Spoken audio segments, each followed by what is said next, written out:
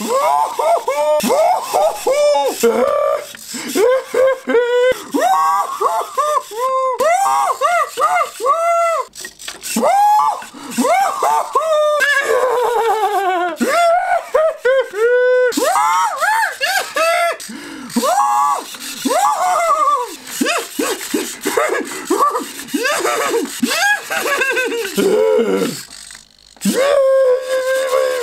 So this is just a really quick video. Uh, I'm basically uh, working on a load of electronic parts for my next single, which is out next next uh, Friday and I've got to build some parts for it. But I just um, decided to uh, put together really quickly these 3D printed parts. I built them on my Lulzbot Mini, which is a really, really good 3D printer. So this is the eye assembly for a Kosmo. Uh, basically, it's just a ping pong ball with a, another 3D part that screws straight onto uh, the miniature servos. You get these miniature servos for really cheap if you search up miniature servo on eBay or Amazon or something you could pick them up, I think, like 10 for 12 pounds or something. But basically, you use two of these. You connect this part, which is in the STL files. This kind of holds the eyeball in. You drill a 3 millimeter hole on this side and a 3 millimeter hole on that side. So it's sort of in the center. So it's like bang in the center of it.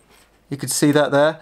And uh, the, then you just put some 3 millimeter M3 bolts just screw it into there and they screw in nicely. And then on the top there's this sort of flexible part. This is just a really simple 3D printed piece. It takes two minutes on the Lulzbot Mini to print. I know it's crazy quick. And then you screw that into a one millimeter hole on the right on the top of the ping pong ball. You sharpie onto it if you want. These literally just screw into this main uh, part. This takes about two hours to 3D print, but it's pretty solid. And when you got two, you got you got double the eyeball power. I've even included this, which is actually exactly the same as this assembly. However, it's actually a Eurorack uh, panel. So you can actually put the Kosmo eyeball into your Eurorack device. Having the CV, uh, these are mini jack holes for it. The problem with the servos is you need to have a separate power supply to the synthesizer because they are very noisy and they are prone to, you know, making a, a mess and stuff. But if you have an RC car laying around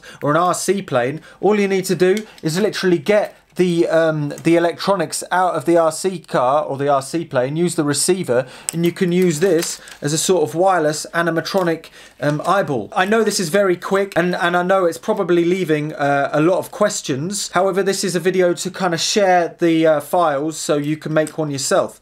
Anyway, I, I need to get on with this video because I got a lot of soldering to do. But that's just a little quick one. If you have any questions, then go and check out my forum. There's a link below, and uh, there's people who have already built this off my Patreon because I shared this on my Patreon uh, a week ago or so. And if you want more projects like this, go and check out my Patreon because needless to say, it helps uh, support things like this. And you'll actually see a few other machine parts that I'm working on for the next single over there. So if you want to support a little bit, even a quid, or and uh, you know see a few a bit more content, then go and check it out on the Patreon. Anyway, I've been Look Mum No Computer. Make yourself some animatronic eyes and don't be scared to try it.